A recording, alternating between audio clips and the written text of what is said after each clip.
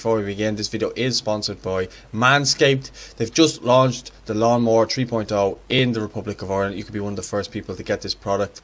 It is perfect for when you're trying to trim those hairs down below and also it comes with an LED light so it allows you to find those rougher edges a lot smoother and obviously it works in the shower so it is waterproof so you can use it down there but you don't always have to just get that product there's lots of other products on their website at manscaped.com. Use the code IFFTV for 20% off and free shipping. Check it out in this the kind of brings me. Daniel Keegan has said it, and I know we were going to allude to it anyway. So, thoughts on Jason Knight, captain in Derby in Wayne Rooney's first, I suppose, game as the permanent manager. He retired from football yesterday. Brilliant career. Uh, England's all-time top scorer. Man United's all-time top scorer. Uh, someone I looked up to when he was playing Everton as a 16-year-old. I loved him as a kid, but he went on to have such a good career with Man United, England, Everton, and DC United. I think I, I think that's all the clubs I've listed. Um, but if you look at what he's achieved in, the, in his career and how much he really, really likes Jason Knight, he made him captain in today's game.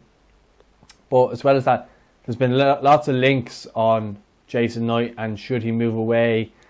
Burnley, Crystal Palace, West Ham have all been in for him. There's a lot of talk of Derby trying to sell players. At the moment, they're just trying to sort out a takeover, but they are looking to sell players to pay wages. They, I think they haven't paid wages in a month. So there's talk of offloading Jason Knight for a fee and another young lad as well. So I, I think it's interesting. But firstly, our thoughts on him uh, as captain for Derby, what it means, and how much of a big statement it is from Rooney to make him captain. And then we'll kind of talk about the clubs that he may go to. Yeah, it's it's a huge statement. I mean, Jason Knight's still only 19. He's not 20 until next month. And to, to captain a club like Derby, and for a, man of the stature of Wayne Rooney, who, as you say, Paul, was a, a superb player for Everton, Man United, and England, um, to make him captain is quite a statement. And, and, and frankly, I was shocked at somebody so young being made captain. It shows how highly Wayne Rooney, Rooney thinks about him. And 19. I suppose I wasn't even I wasn't even considering Jason Knight as being a, a future Ireland captain, at least not for a number of years anyway. But that he's already captaining his club. So, but as a player, he's been playing really, really well this season as well.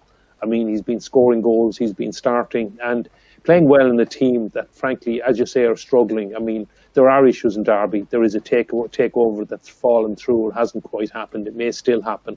As you say, there's been issues pay, paying paying the wages. I think it's the second month now the players were paid. Is it half wages or something like that? I'm not sure anyway. But there are certainly financial issues there. And it would be a shame if Jason Knight was sold just for financial issues to, to just become a squad player when he's playing so well and playing regularly with a manager that likes him.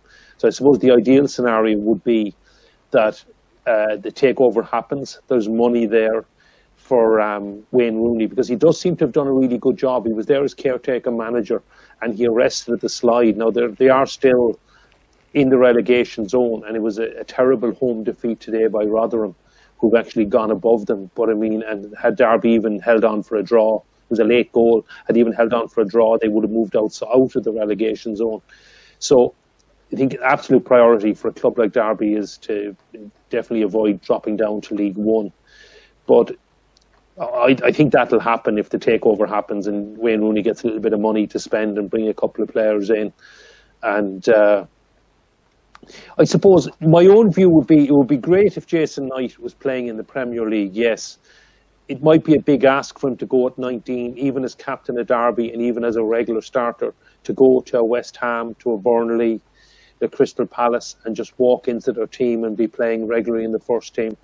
Uh, do I think he's good enough? Yes. I think he's definitely one of our brightest hopes for the future. And there's a lovely dynami- dynamism, dynamism or, um, well, there's lovely, um, just so much energy in, in the way Jason Knight plays. And he's, he scores the goals, which is so crucial for an Irish team at the moment. And uh, so I mean, my thoughts on him would I, I would be happier if he stayed with Derby, I suppose, and played for the rest of this season. Uh, there's no way I'd like to see him drop down to League One.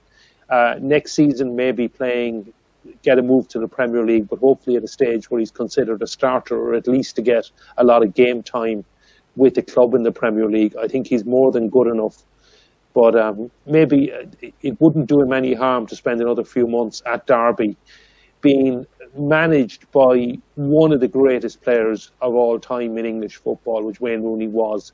Time will tell whether he will turn out to be a great manager. I mean, some great players fail miserably at managers, but but some uh, do go on to become excellent managers as well. And uh, certainly, when Rooney started off pretty well, notwithstanding today's defeat. But um, yeah, it's a it's a tough one for him at Derby, tough one for Jason Knight. But I suppose ultimately, if Derby need the money and they have to pay the players' wages, they will sell any assets they have, and Jason Knight seems the obvious person that they would sell. Well, I think the one thing that Rooney's got is the fact that he was a young wonder kid, and he will probably know what's best for Knight in terms of you know, being young and being highly thought of and pressure on you and stuff like that. And he seems to be relishing the pressure. He seems to be doing right, very well under the pressure. But I think with Rooney having been there and done it as someone as a young prodigy coming through, I think it's a perfect per- person for him to learn off right now. And the fact that he was teammates with him and stuff like that. So I think he won't be as harsh on Knight as, say, maybe a Sean Dyche or or somebody like that. Now, I think if he did go to Burnley, he would have Robbie Brady there with him, but it's just the style of play in which Burnley play, I think you said. Whereas maybe uh, West Ham, that would suit him a bit more, but would he start there? I don't think he would right now. That's not to say he wouldn't go and be a star in the future in the Premier League, but I think, as you said, now would probably be the wrong move. And to finish the season with Derby, maybe help them stay up if they can sort out their, their money issues. I mean, if he's not getting paid or whatever, you could, you couldn't really blame him for leaving. But in terms of a development sense, I would like to see him stay at Derby for the rest of the season. Or if he signs for a club and they loan him back, that that, that would be ideal as well. Um, just to see how he gets on for the rest of the season. I just don't think that he should be jumping up to the to the Premier League right now unless he's guaranteed to be a starter for a club. And as you say, of those clubs and the way they play, is he going to be a starter? I mean, I know Jason could play on the on the he can be like a wide midfielder or or centre mid as well. So if he went to Crystal Palace, he'd be get, trying to compete with James McArthur and probably James McCarthy. And then if he's playing out wide right, uh, wide right or wide left, he's playing Eze or Zaha maybe in front of him as well or Townsend. So the, there is all those players there that he'd be vying for the competition. I'm sure if if he was given long enough, he could get in the team, but it's the matter now of he's actually playing for first team football, captaining Derby. So ideally, I would like to see him stay at Derby. If I'm being honest. Yeah, that'd be that'd be my thoughts as well, Paul. I would like to see him play at Derby. I, I would like to see him playing regularly because I think he's another player that will probably start in Belgrade. With if you if Stephen was picking his team now, I would imagine, based on form, he would be looking at Jason Knight as one of his midfield three.